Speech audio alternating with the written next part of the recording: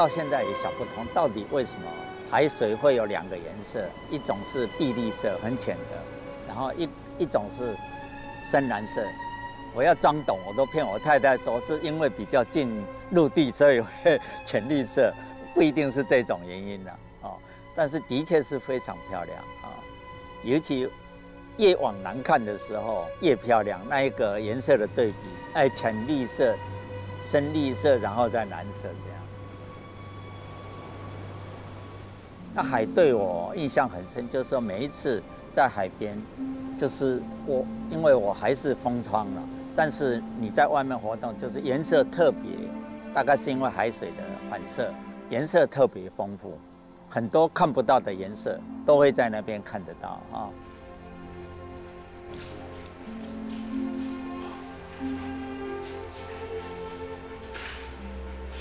因为我个性比较不喜欢交朋友，小时候，所以大部分都是一个人，那很自然就往音乐、往画画这方面去。所以当然很满足感了，小小朋友画画画在纸上都很满足。但是从那个时候开始，开始我就觉得我非常不会用色，那也许是这个样子了。后来我发现说，因为我从小就觉得自己不会用色彩，这件事一直摆在我内心里面。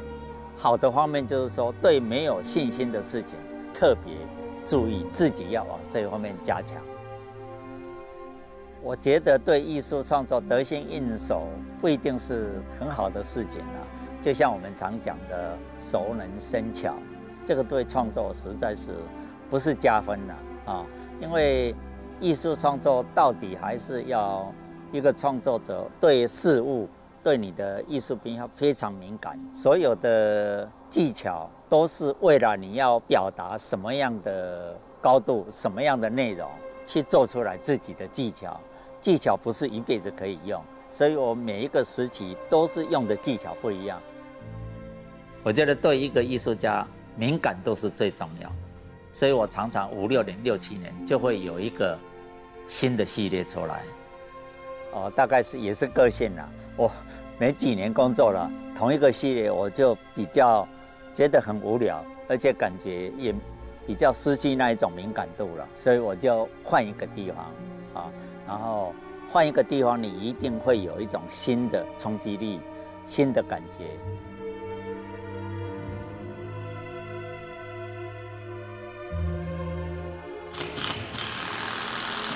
因为到底艺术创作是要内容比较重要，你的精神比较比在走在前面，然后去发展出你的技巧、自己的技巧。技巧不可能从别人那边学过来的，不可能从。参考其他的艺术家来变成你的作品。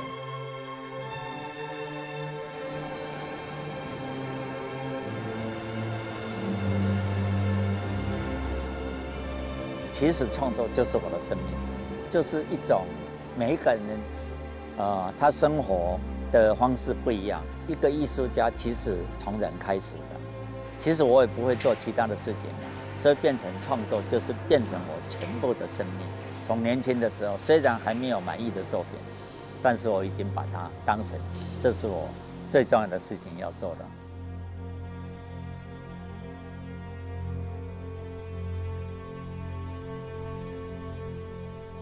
您好，欢迎莅临立德路二号。今天我们非常荣幸邀请到我们王家基老师以及我们的江贤二老师莅临我们的立德路二号。那这次是由北美馆来为江贤二老师来做的回顾展。那王老师可否给我们介绍一下？您认识江老师这么多年了，那在这次策展当中呢，老师你用什么样的角度来带着民众们回顾江老师这一次的回顾展？因为是回顾展，当然是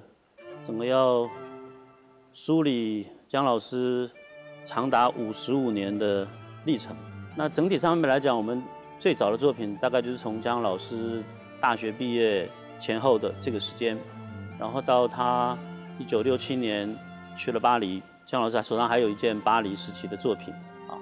然后之后他到纽约啊，纽约的话大概从一九六八年到纽约，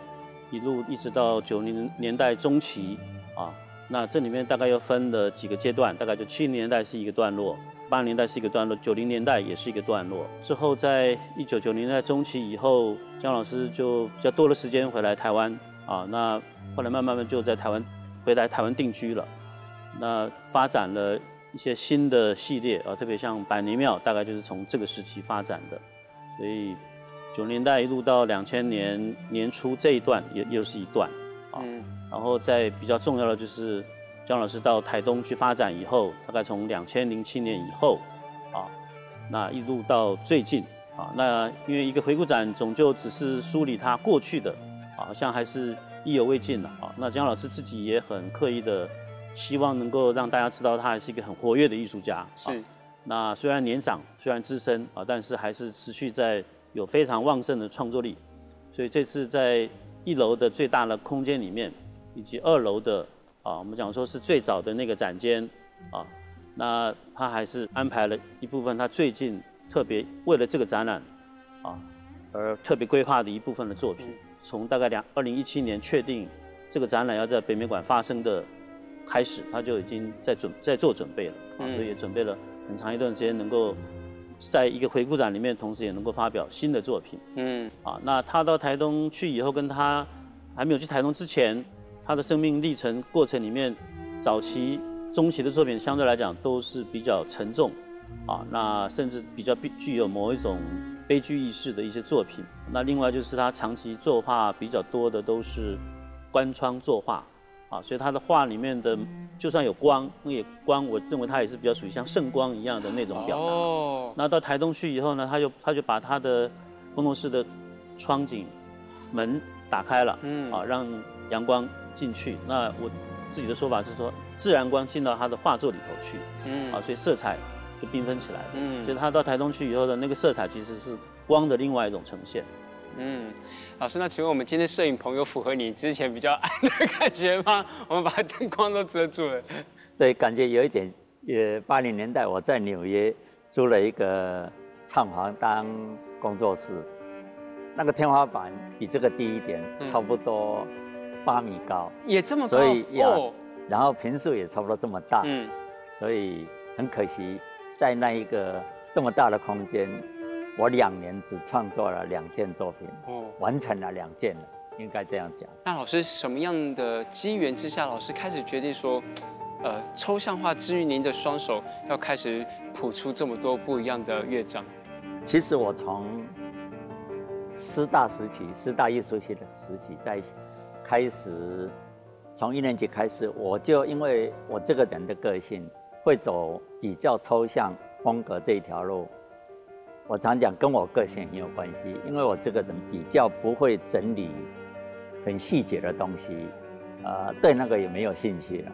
所以我比较倾向于感觉啊那一方面的呃作品。所以很自然而然，呃，我就慢慢慢慢往比较抽象方面的作品在发展。老师，您从什么样的时候开始关注姜老师的作品？然后什么样的机缘能够用这么巧妙的方法带着观众进入老师不同的精神性的空间呢？其实我认识姜老师大概那个时候，他刚回来台湾创作不久，拍台湾三十年后的。台北第一次个展就在成品画廊，那那那一年是一九九七年，啊，那我就看了那个展览，因为我跟成品的经理也很熟悉嘛，哈，那从那个时候开始认识他，然后之后一部分也因为做展览策划的关系，啊，那刚好成品要有个十周年的展览，所以那个时候就特别邀请了姜老师，我只在画册上看到了作品，啊，就是刚好是因为那个展览名字叫家园了，啊。那向老师其实一直作品里面一直都在很重要的一部分都在探索这个生死的问题。八零年代初有一件很大的作品叫叫做《远方之死》，啊，其实就是一个很大的棺材了。嗯。可那个棺材其实是又是我讲说它是三合一的，啊，有点像三位一体的概念，就是它它是像是一个大棺材上面有个十字架，可是你细看它其实又是一个一个罗马的这种长形教堂的一个构造。那另外一方面，你再看啊，它其实也是一个一条船，啊，像方舟一样的，啊，所以我觉得在他在他作品里面那种关于人的最后要到哪里去的这件事情，好像一直是他很关怀的。是的，家园展览里面也邀请了，就是百灵庙其中的一件作品。他的百灵庙发展里面也有几个系统的啊，那其中特别有一些像就是好像那个整个空间里面充满了光啊，那个可能是烛光，可能是圣光啊，那可能是香火在在一个幽暗的空间里面点点点燃点亮的那种光照的感觉。啊，所以我那时候大概就是开始从他早期作品的了解，然后之后一九九七到现在也距离二十多年了，这段时间里面也常常跟江内保持有一些联系。虽然我们不常不常联络啊，但是有时候，比如说他到台东去，我去就说哎，看看他。啊，所以也也慢慢就知道了他后续的，特别是到台东去以后一些作品啊，那之后也应姜老师的邀请啊，来写了部分的文章，嗯啊，所以对他整个的关照，当然就是相对比较丰富的了，嗯啊，所以当然也有助于我这次规划这个展览里面，怎么样让大家前瞻后顾，来回关照，嗯啊。看到现在，又看到从前，在一个空间里面来回的时候，啊，可以有各种思考的空间。嗯，那老师，您在一九六六年的时候，那时候您大约二十四岁的时候，老师也开始策划了您第一次的展览。那时候是什么样的心情？哦，其实是那是第一次个展，就是一九六六年。那时候除了历史博物馆，刚刚王老师提到，我是在省立博物馆，我不知道现在应该不是叫叫国台博。就是新公园那边啊，新公园那边哦，对对，那第一次个展在那边，就是三四十件作品都是在学生呃大学时代创作的。那再早一年，我跟同学，因为那时候刚刚讲的时代背景嘛哈，午夜啦，东方啦，然后凭良心讲，那个时候我们喜爱艺术、文学、电影这方面都很闷了，整个社会氛围。而且大家是血气方刚嘛，嗯，所以 我们那个时候也组了一个画会，叫年代画会，嗯啊，然后就再早一年，还在我记得还在学校的时候就开一个展览，那时候算是少有的，嗯啊，然后第二年我就开了个展，嗯啊，补充一下好，刚刚江老师讲他那个年代画会，其实他跟几个比较要好的同学。啊，就是其中现在有两有两位，其实另外两位其实是我们现在也大家也都很熟悉的艺术家，啊，一个是姚庆章，但他他稍早过世了，啊，另外一个是顾崇光。那个时候我才出生没多久，所以我不太知道他们展了什么。但是我从联合报的这个报道里面啊，后来从这个历史资料，当时的记者披露了，啊，就说他们大学毕业那一年的这个年代画会的联展。啊，也是展了几十件作品，那一大概一个人大概都有十八到二十件左右的作品。嗯，啊，那各自的风格，当然，因为我现在的研我主要研究姜老师，所以姜老师，我记得那个记者的描述，其实大概都谈到，就是说某一种比较悲怆性的，然后比较，当然一种苦闷年代的，啊，那有一种比较悲剧性格的那种表表现。嗯，我觉得一部分也可能也跟姜姜老师自己本身成长过程里面。啊，整个那那种当时，而且跟大时代氛围多少有一些关系的。明白。那里面有一些比较宗教性的情愫，其实已经在里面了。其实现在回头看，其实我六六年第一次个展，就已经差不多我一辈子要走的路，差不多是有那一个成型了。虽然作品不是成熟，但是你可以看到后来我三四十年，几乎很多都是，当然像王老师讲的，大环境有关系，然后。我觉得比较重要的是个性更有关系，更连接啊，所以那个时候几乎都是用黑白，那时候还是也没什么很抽象，原则上是比较具象的东西。现在我们留下来几张比较可以值得看的几件作品，都是那一次展览的，嗯嗯，比如说寻啦、忙啦、镜花之夜啦。都跟我这一次最近的一件作品，就在北美馆回顾展用立体做的铁丝，其实是我想回溯我最年轻第一次个展那一种心情。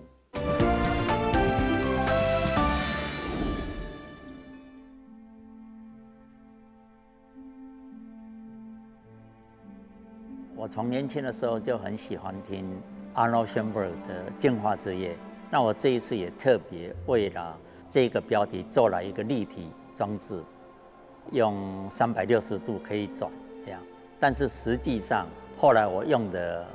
配乐是用马勒的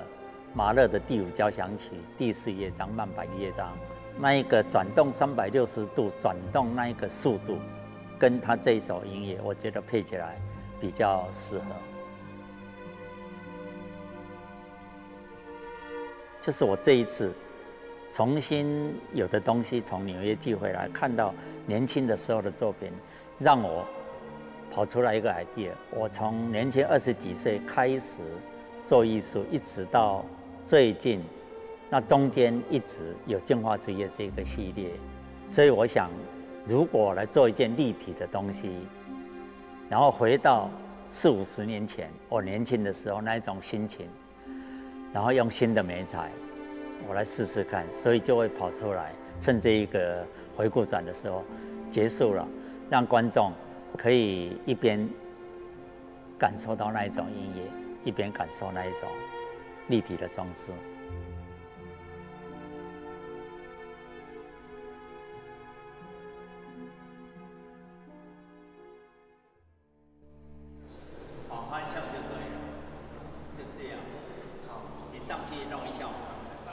我差不多两三年前，我知道北美馆要有这个大空间，让我办一个回顾展。其实我大部分的精神这两三年都在集中精神在做这一间他们的所谓一零三展间，因为它这个有挑高有十米高，那比我台东的画室还高好几米，所以我就几乎每天都在想这个空间，这里面有五件新的作品。都是为了这个空间做。这五幅新的作品都是起名是金樽，然后春夏秋冬，我是从秋开始做的。那几天正好是太阳下山，太阳是从西边下山，然后我那一边太平洋上那几天正好是有很漂亮的彩霞。那连续差不多四五天，那一阵子以后，我再下楼到画室去的时候。就开始慢慢跑出来秋这张作品的颜色，因为我最近几年觉得一辈子用油画画在画布上画平面画，越来越觉觉得应该再变一下，越来越觉得没什么 challenge，所以春这一件就是用我画室这几年十来年住在台东擦笔的啦，那一些其实是我们。卫生纸，就是擦笔的、擦手啦、擦工作桌啦，那一些颜料堆起来的。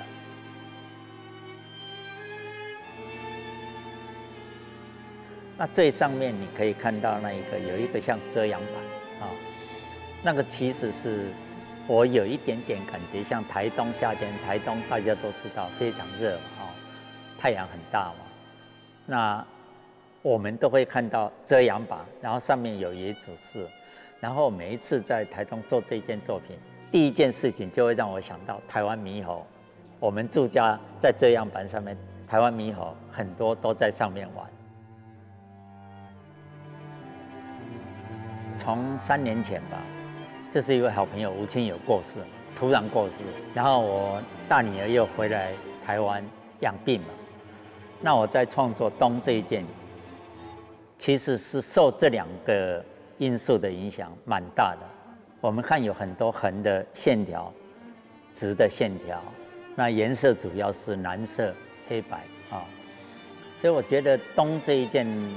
这件作品就有一点慢慢又回到我年轻的时候，回到我三十年、四十年前。可以说东应该是也把我带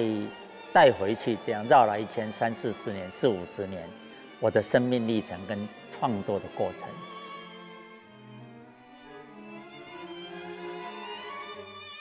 老师常常跟我讲说，不管怎样，你都要去尝试。所以常常会看到老师不止做平面作品，也常常看到老师做一些不一样的东西，像是用纸团创作，或者是用老师在园区里面取得到一些植物的落叶啊，或者是什么。这个连同因为工程在使用的铁丝也成了这一次展览的作品。很多艺术家都是会比较坚持在他自己他原本在创作，但是老师不一样，老师真的是突破各种面向去创作，然后又加上老师年纪这么大，他又在创作那么巨幅的作品，真的是很佩服他了。自己觉得，尤其看到五十年没有见过的作品啊，蛮惊奇哦，又觉得蛮蛮好笑的。那时候到底是年轻嘛，哦，就是创作的时候很用力。那时候也不知道，以为就是一直做什么事情都很很严肃、很用力、很认真。那慢慢慢慢年纪大了，就感觉做艺术不一定需要这个样子。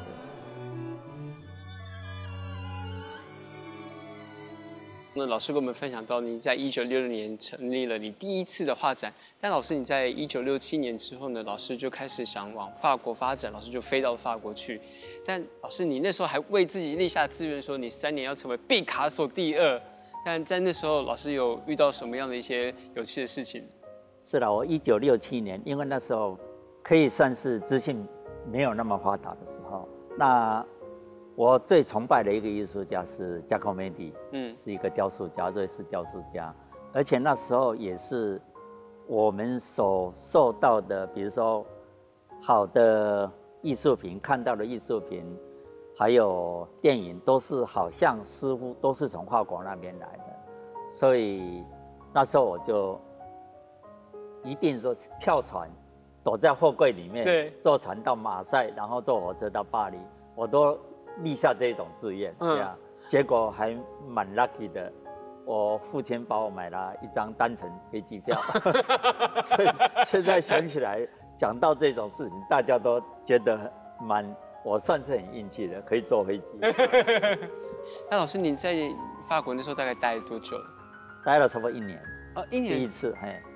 后来就到纽约，但是我到巴黎去，平常讲我。从高中就是心里面想向往的只有巴黎，嗯。啊，但是我到巴黎去碰到两件事，第一件事才知道说，我最崇拜的艺术家加科梅蒂，其实他在一九六六年就过世，我是一九六七年，嗯，那第二件事我发现巴黎其实当代艺术那个时候的艺术氛围没有我想象的那么那么棒那么厉害。所以有一点失望，真的有一点失望。然后第三件事情就是碰到学运、五月学潮啊，从拉丁系从巴黎大学学生，后来演变到全国，全国总罢工。那那时候口袋里面也口袋只带了两三毛钱去啊，也用光了。然后要打工啊，打工所有都没机会打工，我们就决定。往纽约，那时候就开始注意纽约了。是。那我第一件事情注意到纽约，就是当然我在巴黎的时候，Robert Kennedy 暗杀被暗杀，司法部长，然后对六几年，然后更早 r u s s e n b e r g 普普开始，他得到威尼斯大奖，代表美国。那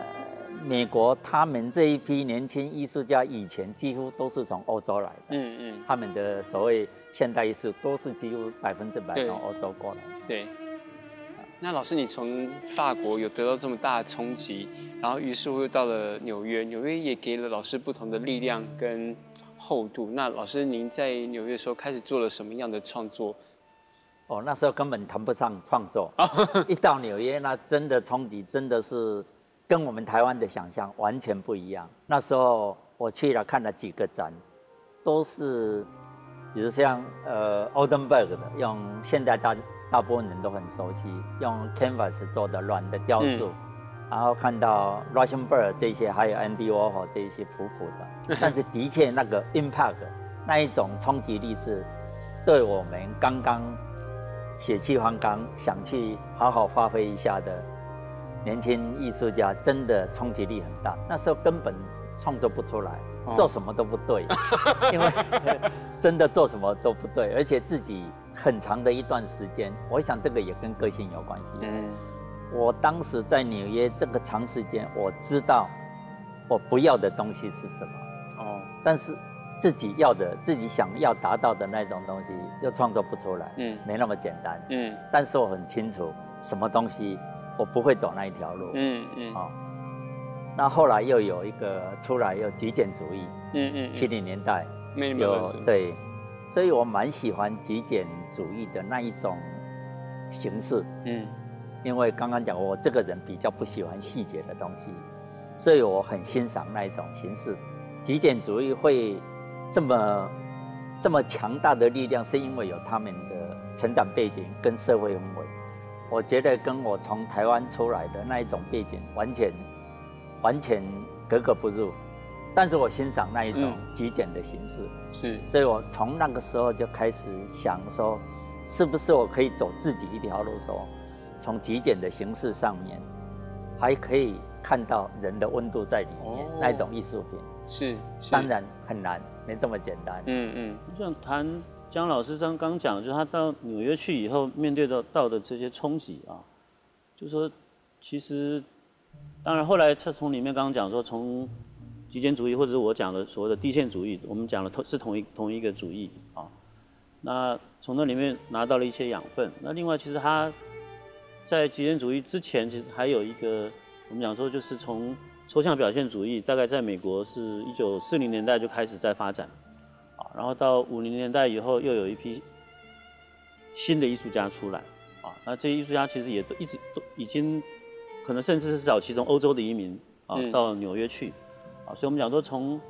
这种比较热的这种抽象抽象表现主义，就是比较挥洒性的啊，泼低流泼洒这种风格，后面发展了就是我们讲所谓的 color field painting，就是我们现在把它翻译叫做色域或色面绘画，色域绘画或色面绘画里面有一个艺术家，其实我想跟姜老师后来作品发展里面，其实还有一些渊源上的关系。这个这个人就是叫 Mark Roscoe，啊嗯就是那种用也是一样，基基本上在比较单色的系统里面，然后把油彩稀释的比较流动性，然后在里面去找一种比较比较终极性的关怀啊，就是让让不是不只是纯粹身体性的一种在画面上的表达啊，那同时间他也是在追寻一些色彩本身的一些永恒性，或者是从这里面去探讨一些比较甚至比较宗教性的嗯这种追求啊，那我觉得这个这个系统可能对姜老师也多少也有一点影响。嗯啊，那在美国这个时期的这个整个画派的发展来讲，我们讲说它其实也不是，当然好像看起来是此起彼落，这个起来了，那个然后可能这个弱了，那个又起来啊。刚刚讲了抽象表现主义，然后色域绘画，但他们两个基本上都是我们现在都把它归归类为一个比较大的抽象表现主义的潮流。嗯。啊，然后在这个之后，就刚刚姜老师讲了，这个像 Oldenburg 啊，Andy Warhol，这个都就是我们现在俗称的所谓的普普艺术对，（Pop Art） 啊。那 Pop Art 又是又是完全另外一种思潮，Pop Art 是跟美国整个电视文化的兴起啊，跟传媒文化的兴起有很大的关系，所以他们开开始用很多的这种传媒的现成物什么之类的去做运用，甚至用一些比较拼贴式的东西去去拼凑一个所谓的人活在的一种消费社会的一种状态，这可能是我们现在很熟悉的，可嗯那个时候可能对姜老师来讲是很很新鲜的东西。对，啊。那我们也是像台湾也是要迟了几十年，我们慢慢有那样的一个文化的氛围，我们才慢慢感受到说，哦，那普普的趣味在什么地方，还有普普想要探讨的东西是什么。嗯。啊，那普普之后，另外还有一个重要的一个发展，就是一个段落性的发展，就是照相写实主义。嗯啊，照照相写实主义部分可能也跟普普艺术的发展有关系，因为都是比较具象形象，用现成的造型啊，那也是跟美国的整个消费社会也有很大的关系，而且跟中产阶级的社会也有一些关系。这个照相写实主义在美国也发展了一段时间啊，从大概在六八年到七五年中间，大概是它的它的这个黄金时代了啊。之后就是我们讲所谓的他讲了极简啊 minimalism 这个发展，那 minimal 美国又从 minimalism 之后又发展出这个所谓的观念艺术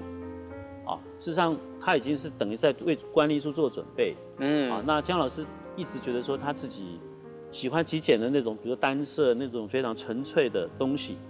啊，那种表达。但是相对来讲，极简主义我们刚刚讲又是比较怎么讲，比较比较工业化的东西。嗯嗯嗯。啊，因为极简主义的艺术家开始用很多的工业性的材质啊，比如说他们把这个工工业用的这种 H 型钢啊什么之类的，或者是用定制的方式，艺术家甚至不动手，艺术家变成像艺术总监一样的一个哎。观念艺术家。嗯。啊，所有的工基本上是也他也不在他工作室里面去做作品了，而比较多的可能向外定制，哦，啊，去打造用不锈钢去做了一个很一个很大的立方体或者一个比较构造性的东西，甚至艺术史家就讲说这种一种比较剧场性的啊这种极简主义。我们现在看到所有很多的公共艺术，其实极简主义基本上是算公共艺术的始祖，在那个年代。啊，那之后到观念艺术，那姜老师他他刚刚也自己也讲，就是说他其实对于那种个人的 touch 比较啊，怎么样从里面找到一个比较能够符合自己感性感性的这个部分，找到一个出口。啊，那我讲这个大的氛围跟他自己个人的发展，啊，七十年代大概就是花掉他很多很多时间在。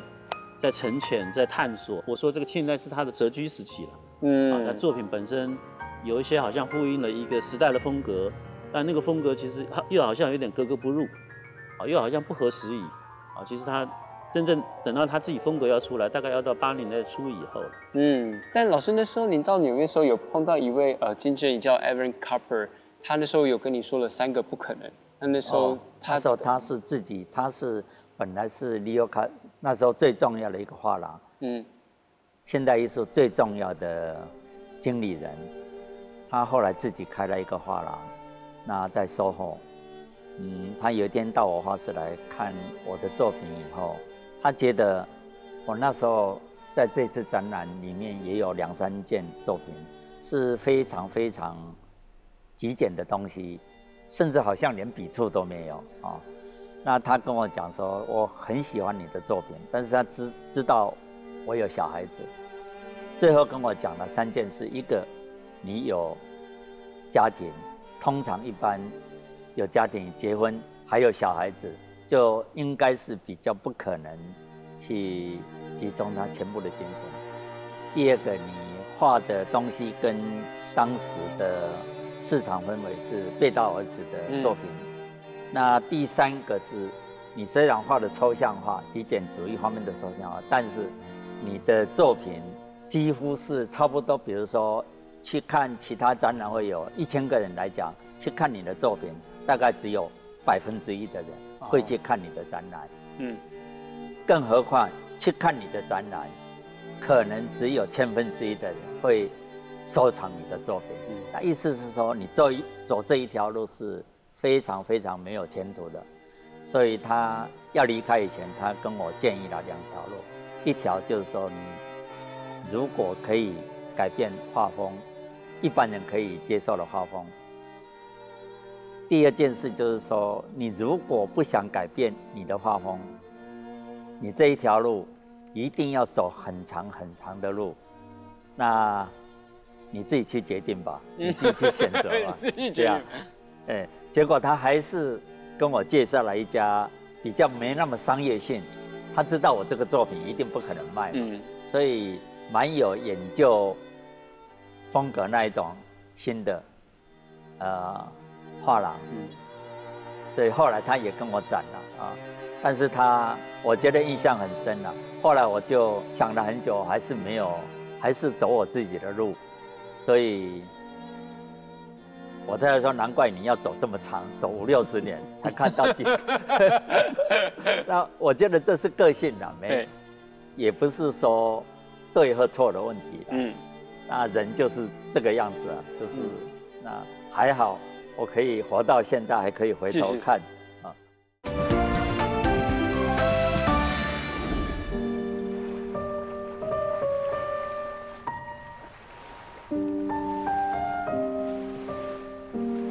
大早天还没有亮就起床，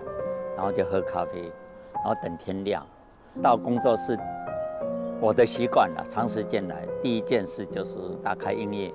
尤其是巴哈的钢琴曲，就像是我的圣经一样。尤其是布德堡变奏曲，因为那时候光线很棒，因为才天才亮嘛，哈，太阳刚出来，黄昏天黑以前，那个是我很很重要的一个时光，我一定要上来。看天色慢慢暗。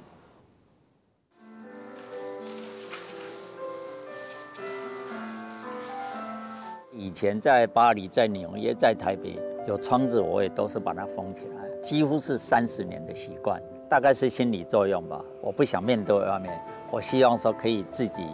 很安静，面对自己。我那时候的光线哦，就是希望从自己心里面来想的那种光线，那也是蛮奇怪的感觉，因为年轻嘛，然后就变成一种习惯。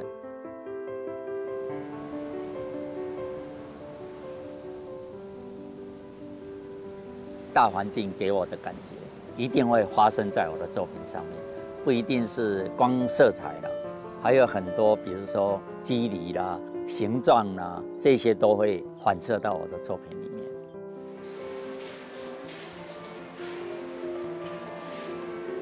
我记得很清楚，那一天是公益平台，呃，一个好朋友严长寿先生，他邀请我去跟小朋友讲讲话，啊，有关于。绘画这方面的，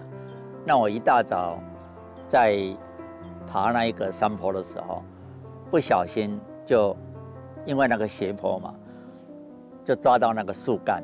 我以为是当时以为是蜜蜂了，咬我了，刺了我一下，结果我抬头一看，很自然的反应，我抬头哇，原来是青竹丝，很漂亮的颜色，很漂亮的绿色，还可以看到后面尾巴有粉红色的。从来没有看过这么这么漂亮、这么透明的黄色、绿色，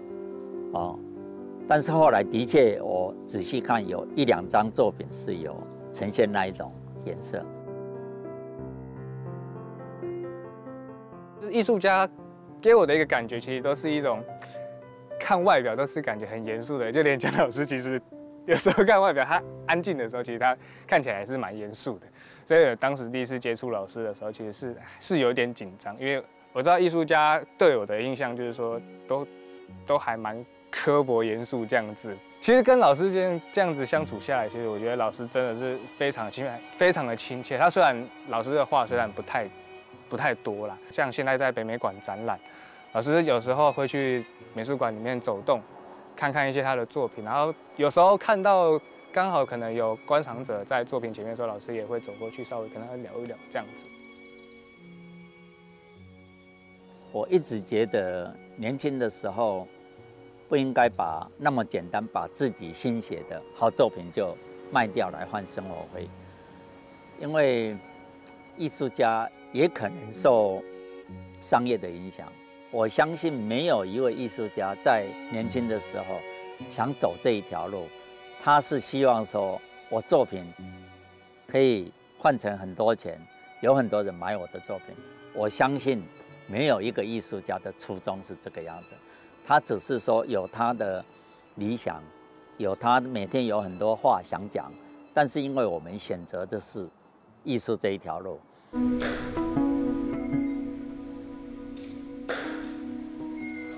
艺术家、艺术品是从人开始的，是从你每天生活，你去面对这个社会，面对你的家人，面对朋友，这一些是比你每天想在那边坚持重要。好，那当然，你每天一定会正常人都会碰到很多问题，碰到很多问题，你就要想办法去解决。你会面对很多待人处事的问题。然后你还是要回你的工作室，每天去创作。我的坚持是这个意思，不是说你每天什么都不管，去坚持你每天在工作室。运气也很重要了，啊，那运气就是还是从人开始。你每一天都是要去，你就会自然就会碰到很多朋友，碰到会欣赏你的人。这一些是，不是说你坚持一个艺术家坚持就一定会成功。所以还是做人比较重要了，从人开始。老师刚刚有分享说，您在纽约时期，然后你遇到了经纪人，他对于你的一些谏言跟你的作品的一些看法。但老师后来呢，您在呃一九八二时候又回到了法国去。那老师你也开始创作一系列的巴黎圣母院的这样的作品。那那时候什么样的开始会让你认为说，OK，这样的光，这样的环境又开始成为您的创作的灵感来源？那时候还算年轻的哈，嗯，那因为在纽约，自己画不出来自己满意的东西，嗯，那凭良心讲，心情也是很闷的，嗯，所以我抓到机会，那时候有机会我就会到一个人先到巴黎去，呃，创作。那一九八二年那一年对我比较重要的就是说，我在拉丁区租了一个在电影院楼上小阁楼租了一个小画室。那我还是一样封窗，不想面对外面的哈，因为纽约经过了也是蛮久的时间，所以我去把什么都关起来，然后是不是想办法，是不是可以画几张我想要的东西？嗯，那那一年的确是那时候我一九八正好四十岁，我做出了巴黎圣母院这个系列，还有炎黄之死。那后来我才知道，在那个小阁楼画画的时候，其实我对面看的是拉丁区最热闹的的大街小巷。那我对面看到的就是听说了是当年肖邦跟乔治桑一天到晚在那边吵架的酒吧。所以，因为我通常都把窗子封起来，我觉得四十岁那一年，我自己才自己决定说。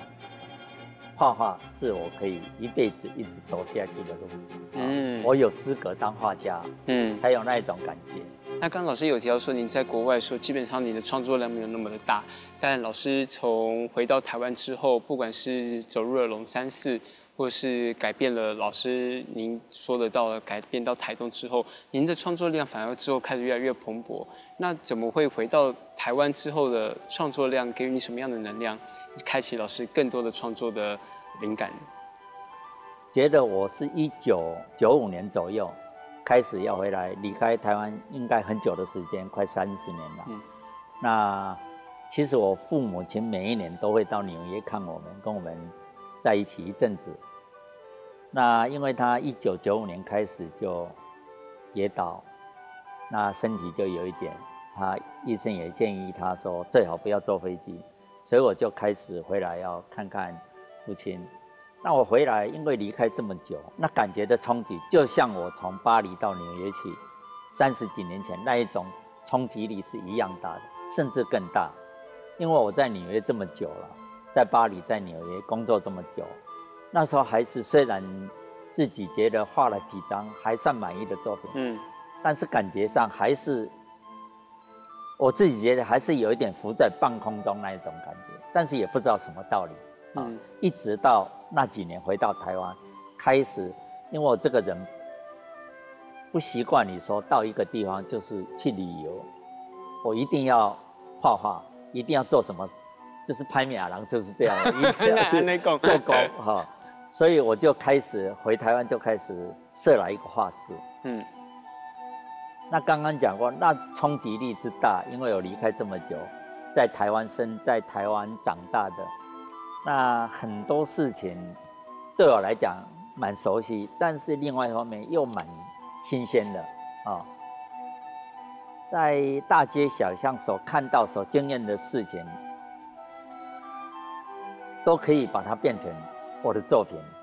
那时候是真的是，甚至激动到有一天。有一次，在我记得在松江路走路的时候，非常感动。说我想说，是不是我把名字改掉，不要叫江贤二，重来一次这样？哦，可见对对我的那种冲击力真的很大。嗯，啊，那那时候就开始在台北设画室啊，嗯，那就开始就是因为我在欧洲，就是喜欢看到教堂就进去。经验一下那种空间，那回台湾，因为我们都会有那种感觉，小时候几乎都在庙里旁边那种长大的，所以我一看到尤其龙山寺，我几乎每一天都会往龙山寺那一边到里面去，感觉那一种空间那种氛围啊，所以一回到画室那几年，就是开始百年庙这个系列，差不多。开始联系了七八年，啊，那我常常形容那一段时间，那真的是废寝忘食，因为是，对我好像里面想创作的那一种资源非常非常丰富，啊，然后经过长时间在纽约在巴黎，可能是因为我在这边生的，嗯，感觉是非常，我的艺术跟我的地。很接近，第一次有那一种感觉，身体好像踏到这一块地，连在一起，然后加上我过去的经验，所以几乎废寝忘食做了百年庙系列是啊。了解，老师，刚刚老师有提到说他在纽约有遇到那位呃经纪人，就是他跟他三个不可能。那你可否来跟江贤二老师讲讲三个大可能是什么？就是他够坚持啊。耶、嗯然后主要是我觉得，另外一部分，希望姜老师不会不开心。我觉得因为他的自我够大哦，啊，因为很可能一般一般艺术家在面对画商的时候，画商可能说不合我所好，那很可能可能你就消失了啊。那但他坚持，他的我们讲他的自我够强，那、嗯所以当他可以坚持下来，自我够大的人还要必须要有一件事情要够自觉。嗯，啊，我们常常碰到很多人是很自大，但是没有自觉。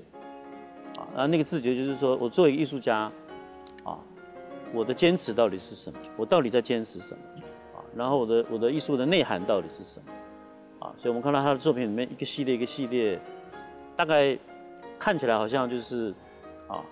一般人第一次看也许摸不着他的头绪，但慢慢你会发现说他其实他一个段落性一个段落性，其实他有他一段时间他想要自我克服的问题。啊，有有一部分可能是技法性的，有一部分可能是那种怎么样把自己的精神跟情感，啊，找到一个对的方式把它放放进去，啊，就是不管写作或者是视觉形式，音乐家大概都是同样的东西。我有很多很多想要表达，但是我透过一个怎么样对的形式，能够找到它的一个最好的表达的，那才有所谓的美学能够出来了。是没错这个这个算是重要的。嗯，今天立德路二号非常荣幸邀请到我们江贤老师还有王大吉老师来跟我们分享老师的作品，然后老师的展览到六月，那希望我们有更多民众们能够走入北美馆来欣赏王家骥老师来特别为我们江贤二老师来策划的江贤二回顾展。好，老师先谢谢你们，谢谢谢谢。